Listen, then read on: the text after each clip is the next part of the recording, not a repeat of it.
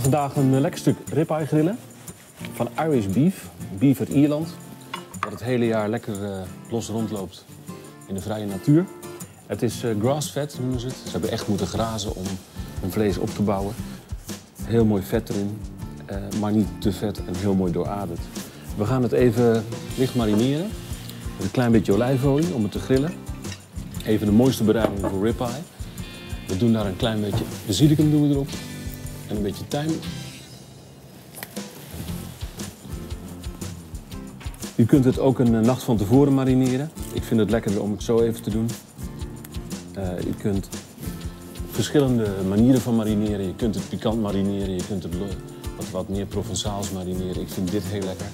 Uh, je kunt ook wat Thai pepers of wat, uh, wat seree erbij doen. Eigenlijk is de smaak zo neutraal lekker dat je het voor allerlei bereidingen kunt gebruiken. We grillen er wat tomaatjes bij, er zit wat knoflook in de marinade. De grill altijd goed heet.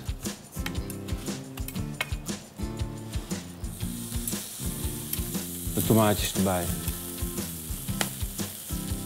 En grillen maar. Altijd zorgen dat er lekker wat olie omheen zit, zodat hij niet vastplakt aan de grill. Nooit met een vleesvork erin. Je ziet dat ik een pincet gebruik. Je kunt ook een barbecue tang gebruiken of iets dergelijks. Um, het is zonde om in het vlees te prikken, zodat hij de sappen verliest die het juist zo lekker maakt. Een tip om te kijken of het vlees uh, goed, goed op cuisson is, de mate van gaarheid, is dat je even met je vinger op de buitenkant drukt. Uh, als het nog heel soepel en zacht is, dan uh, is het vrij rood. Veert het terug, dan is het al wat gaarder van structuur. De mooiste mate van gaarheid om een ribeye te eten is toch wel uh, medium gebakken.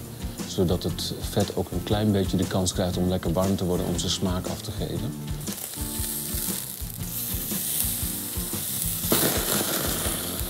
Als je dit mooie vlees uh, gaat grillen, nooit van tevoren peper en zout maar altijd achteraf. Het zout is uh, met name bij het grillen trekt toch het vocht uit het, uit het vlees en het is zonde. Als ik met mijn vingers erop druk, wordt hij al wat steviger van aard. Dat betekent dat hij tegen het medium aan zit. Dus dat hij goede hitte gehad heeft. En ik zou hem dan ook eraf halen.